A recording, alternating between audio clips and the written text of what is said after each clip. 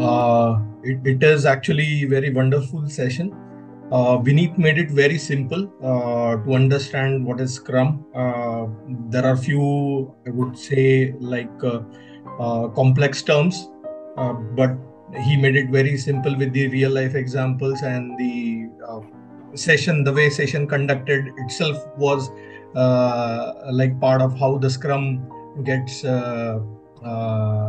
implemented. So that's that is something which is, I would say, commendable.